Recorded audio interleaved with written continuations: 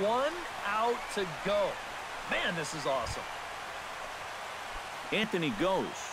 We'll dig in now as perhaps the final man to stand in the way of possible history here tonight.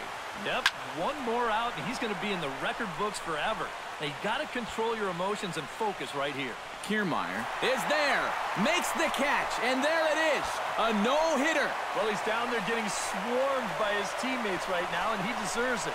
Truly one of the best pitching performances that I've ever witnessed, and he puts his name into the record books with that no-hitter.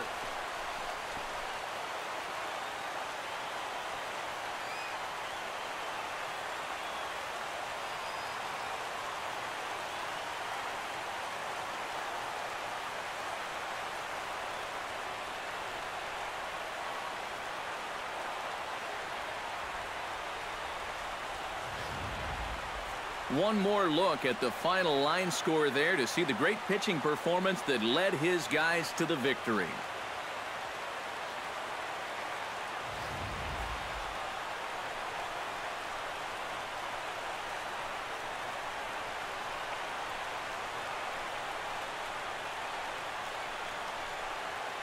Well, obviously, after a no-hitter, there's not a whole lot of debate as to the identity of our top player of the game. Yeah, really a dominating performance out there. Look at all the strikeouts. I mean, they just couldn't touch him.